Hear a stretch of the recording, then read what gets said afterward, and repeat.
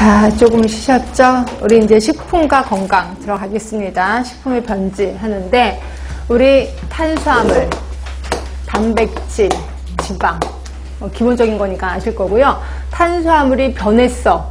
그러면 뭐 미생물하고 그 다음에 뭐 산소가 없는 곳에서 변했다라고 하면 어떤 현상이 일어나죠? 특히 두 가지 현상이 일어나는데 하나가 발효, 또 하나가 발효, 그 다음에 또 변폐. 맞지? 이걸 모르시면 안 돼, 진짜. 그럼 단백질이 변했다. 부패라고 얘기합니다. 지방이 변했다. 예, 삼패라고 표현하는 거고요. 자, 발효하고 변폐의 차이점은 먹을 수 있느냐, 먹을 수 없느냐. 차입니다. 두 개가 똑같이 변하는데 먹을만해 그럼 발효라고 표현해요. 먹지 못하겠는데 그럼 변폐라고 하는 거고 그럼 이거는 사람마다 뭐 인종마다 다르겠죠. 그래서 우리는 어, 먹을만한데 근데 외국 사람들 이걸 어떻게 먹어 이렇게 얘기를 하잖아요. 그래서 요 차이가 있다 이렇게 보시면 될 것 같고 특히 산패 같은 경우에는요.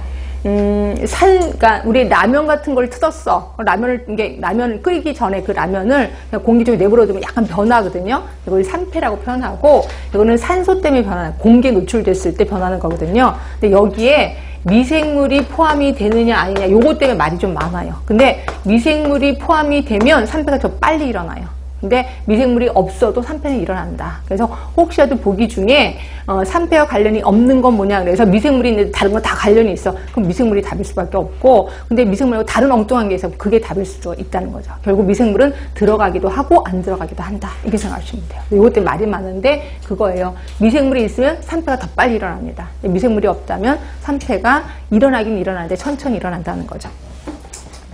자 보겠습니다. 자, 이 중에서 부패는 단백질이라고 얘기했고 단백질이 혐기성 균에 의해서 분해되는 걸 얘기하는 거고 자, 변폐는 탄수화물이 탄수화물이나 지방도 포함이 되긴 합니다. 혐기성 상태에서 분해하는 거고 산패는 지질이 산소, 광선, 금속에 의해서 산화 분해되는 거. 여기에는 미생물도 들어가긴 합니다. 근데 때로는 미생물이 빠져도 답은 맞긴 맞아.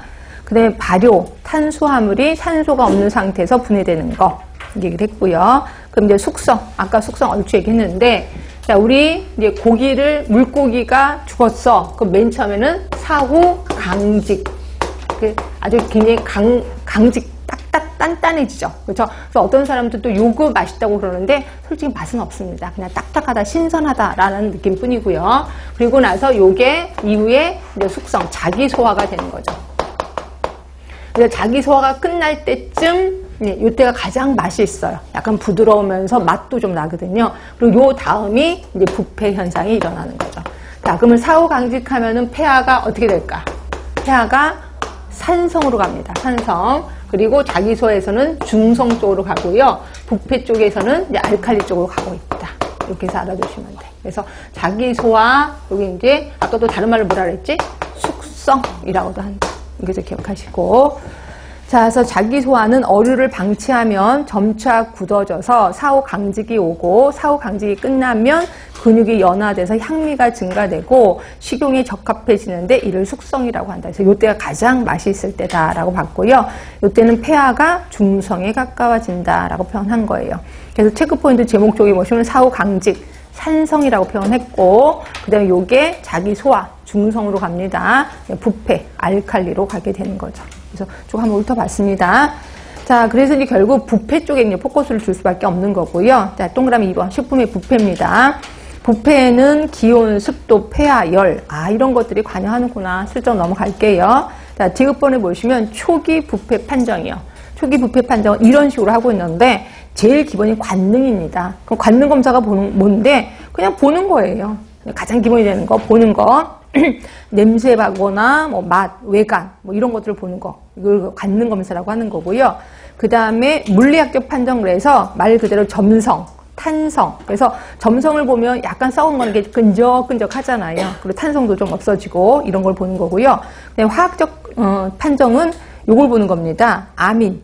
저 밑에 보이시지? 그 다음에 트리, 메틸아민 이런 것들. 그래서 어류의 비린내 냄새가 요 원인이거든요. 그래서 어, 물고기는 비린내 나는 게 당연하지요라고 생각하는데 아니에요. 물고기는 원래 싱싱한 거는 비린내가 없습니다. 그래서 제가 알고 계시는 분이 강원도 출신이신데 서울에 와서 생선의 비린내를 처음 맡았다 이렇게 얘기를 하더라고요. 그래서 생선의 비린내가 나요. 그래서 어, 우리는 어, 당연한 거 아니에요? 그랬더니 생선의 비린내 없어요 이렇게 얘기를 하더라고요. 그러니까 그분은